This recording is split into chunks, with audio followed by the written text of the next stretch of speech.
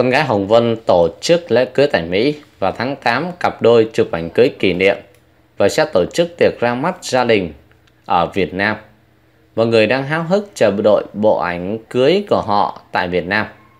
Sau khi tổ chức đám cưới tại Mỹ vào tháng 6 vừa qua, mới đây Hoàng Châu, con gái của nghệ sĩ nhân dân Hồng Vân, đã hút nhiều sự chú ý khi cùng chồng thực hiện bộ ảnh cưới kỷ niệm. Trong một vài hình ảnh được hé lộ, cặp đôi diện cả đồ cưới hiện đại lẫn trang phục áo dài cách tân của nhà thiết kế Minh Châu. Được biết là vợ chồng Hoàng Châu đã có mặt tại Việt Nam để chuẩn bị tổ chức tiệc báo hỷ tại quê nhà. Buổi tiệc sẽ được diễn ra tại thành phố Sài Gòn vào ngày 6 tháng 8 tới đây và chỉ có gia đình, người thân của cô dâu chú rể tham dự. Với chiều cao 1m78 cùng gương mặt ăn ảnh xinh đẹp, Hoàng Châu luôn được nhiều khán giả kỳ vọng sẽ là hoa hậu ngành sân khấu nối nghiệp của mẹ. Cô từng được mẹ cho thử sức trong nhiều vở kịch nổi tiếng, thậm chí là từng tham gia đóng phim Nhật ký vàng Anh, những kẻ hai mặt. Năm 2011, con gái Hồng Vân đã quyết định từ bỏ nghiệp diễn để sang Mỹ du học ngành quản trị kinh doanh quốc tế.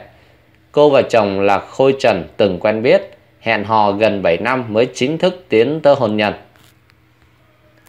Trước đó khi chia sẻ về việc con gái lên xe hoa về nhà chồng, nghệ sĩ nhân dân Hồng Vân cho biết gia đình cô và Thông Gia là bạn chơi chung từ thuở trẻ. Hai bên đã có mối quan hệ thân thiết từ lâu. Khi con gái quyết định lấy chồng ở tuổi 24, nữ diễn viên gạo nếp gạo tẻ khá bất ngờ và cho rằng độ tuổi này vẫn còn hơi sớm. Nhưng sau khi xem xét và suy nghĩ kỹ lưỡng, nữ diễn viên đã ủng hộ cuộc hôn nhân này vì thấy đôi trẻ thực sự nghiêm túc, tình cảm cũng đã đủ chín chắn. Chứ kể gia đình xui ra lại là bạn thân của Hồng Vân ngoài đời, nên cô vừa vui vừa yên tâm gả con gái.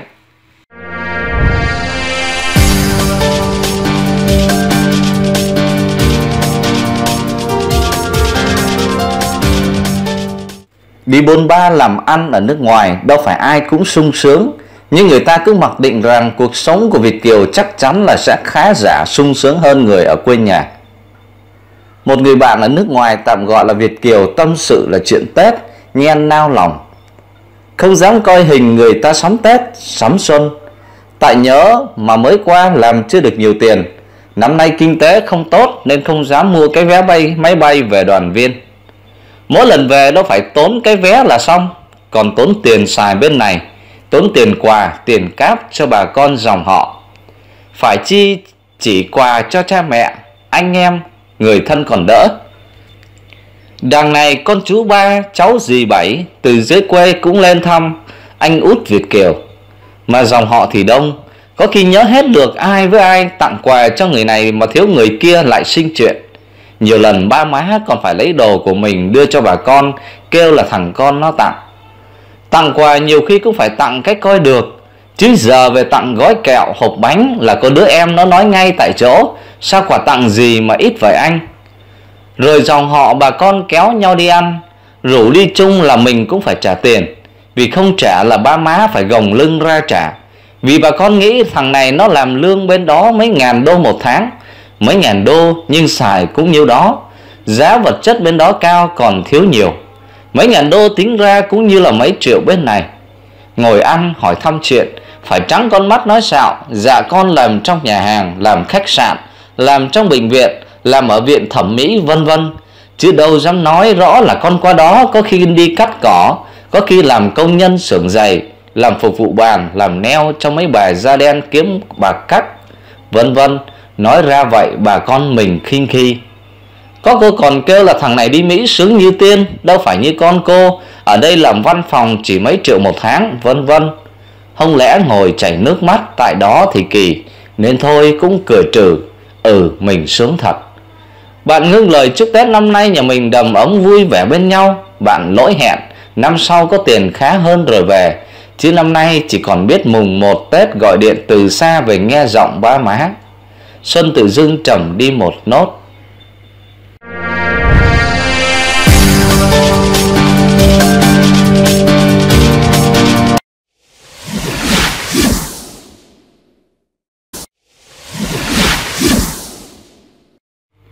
Không ít Việt Kiều về thăm quê rồi kêu trời bởi chi phí tốn kém, từ quà cáp, du lịch, ăn uống, mua sắm, không chỉ cho người thân trong nhà mà cả dòng họ. Trong những năm trở lại đây, nhiều người Việt Nam có xu hướng sang nước ngoài định cư để tìm kiếm một công việc với mức lương cao hơn, đời sống tốt hơn. Khi có điều kiện thi thoảng lại về thăm người thân, họ hàng, quê hương, nơi mà mình sinh ra và lớn lên nơi mà mình đã gắn bó bấy lâu nay.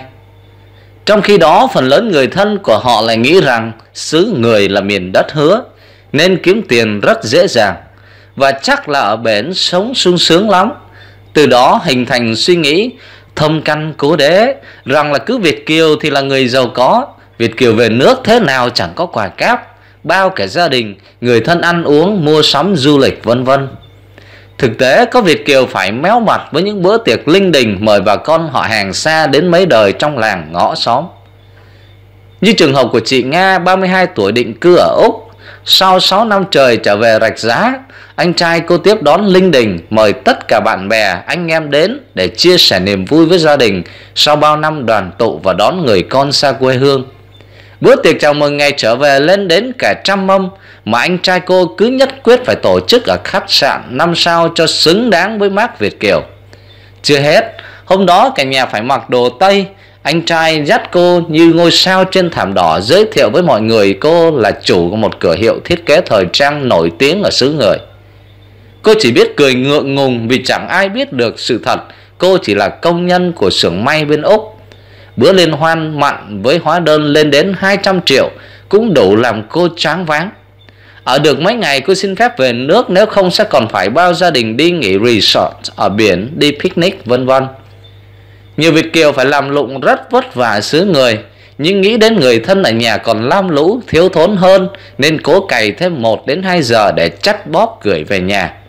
Tuy nhiên, sự vất vả ấy thì không ai biết đến.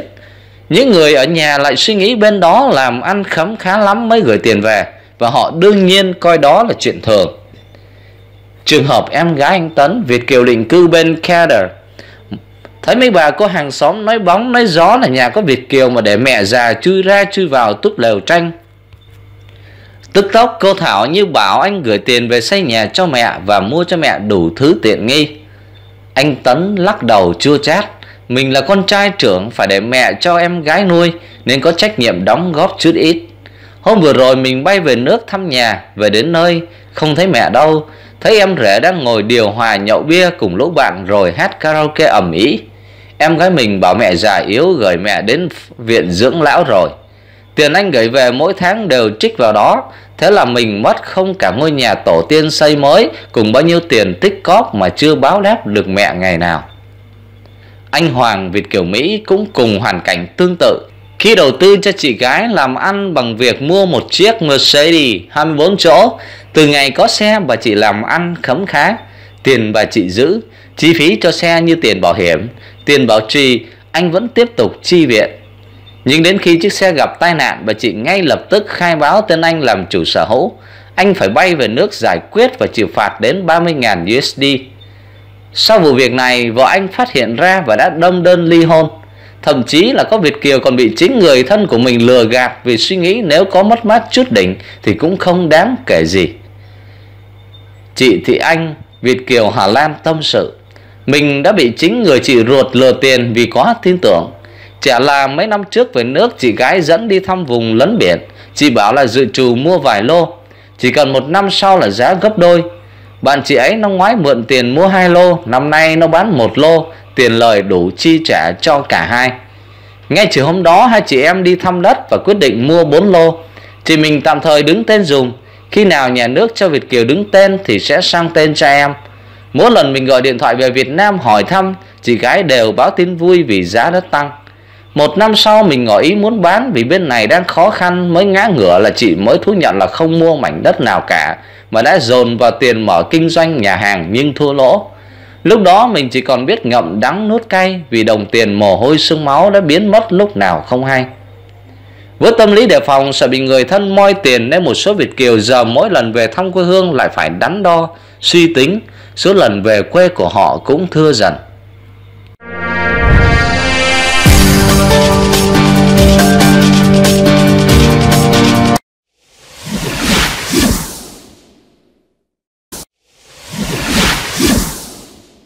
Những ánh mắt chờ đợi, háo hức đã nói thay cho bao nỗi nhớ hoài trông của những người ở lại.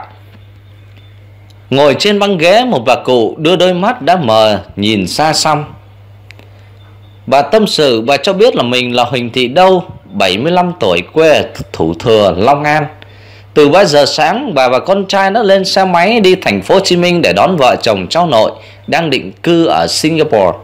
Bà đã ngồi suốt trên băng ghế này gần 4 tiếng để đợi cháu. Bà đâu chia sẻ? Kể từ ngày nó lấy chồng, tôi chưa được gặp lại. Tính ra cũng là 7-8 năm rồi. Nó là đứa cháu nội mà tôi yêu quý nhất Vì từ nhỏ nó đã sống cùng tôi. Nhiều đêm buồn tôi khóc vì nhớ cháu Mà không dám để cha nó thấy. Sợ cha nó buồn. Đây là năm đầu tiên nó về nước. Nó đem theo cháu cố của tôi về nữa. Tôi mừng lắm. Chúng tôi chia sẻ nỗi vui của người bà ở tuổi đã thất thập cổ lai hy này bởi lẽ khu vực này vẫn còn rất nhiều người bà, người ông như vậy. Vì tuổi cao sức yếu họ lặng lẽ ngồi một góc để chờ con cháu mình trở về. Tiếng hòa khóc của một phụ nữ phía xa làm cho mọi sự không khí dường như là im lặng. Quan sát là nhìn thấy người này chạc 50 tuổi dáng người nhỏ bé đang vòng tay ôm thật chặt một người đàn ông. Những giọt nước mắt lăn dài trên má chị. Trong tiếng nấc nghẹn ngào chị nói Sao em đi lâu quá vậy Đi gì mà gần 10 năm trời? Có biết chị nhớ em lắm không? Mẹ mất rồi, Chỉ còn chị em mình mà em cũng bỏ chị đi. Đợi chị mình bình tĩnh, Người đàn ông mỉm cười, Không đâu bằng quê mình. Em đi rồi cũng đã về mà chị. Anh cho biết mình là Nguyễn Thành, Quê ở Bến Tre, Sang Đài Loan định cư đã hơn 10 năm. Cuộc sống mưu sinh khó khăn nơi đất khách Buộc anh chưa lần nào được về thăm quê hương. Năm nay anh cố gắng thu xếp trở về vào đúng dịp Tết để tìm chút tình quê Anh Thành tâm sự. Ở nơi xa tôi nhớ quê lắm Ngồi trên máy bay mà cứ náo nức không biết bao giờ được về nhà. Tôi tưởng tượng ra là không biết nhà mình, chị mình, họ hàng mình sau ngần ấy năm Họ đã thay đổi như thế nào. Nỗi nhớ quê hương cứ trực trào. Trong hành trình tha hương cầu thực có rất nhiều người con đã phải xa quê hương đất nước. Những người con xa xứ luôn tồn tại một nỗi nhớ quê hương Nhớ mẹ cha ra giết ẩn sâu trong tâm khảm của mình. Được trở về nhà và gặp những người thân yêu Không khí thật ấm áp và thiêng liêng làm sao? Một tiếng gọi mẹ thiêng liêng vang lên góc sảnh hai người phụ nữ. Một tóc đã bạc phơ, một điểm hoa râm đang ôm chầm lấy nhau. Họ là bà Nguyễn Thị Hoa 76 tuổi quê ở Long An Và con gái là Trần Ánh Ngọc. Chị Ngọc cho biết, tôi sang lao động tại Mỹ đã được 4 năm, Cứ 2 năm tôi lại ráng về Việt Nam một lần để thăm mẹ và gia đình. Được về Việt Nam và với tôi là một sự may mắn vô cùng. Ngày sum họp gia đình, Thực chất những ngày này chúng tôi được gặp nhau dường như nó như là ngày Tết vậy.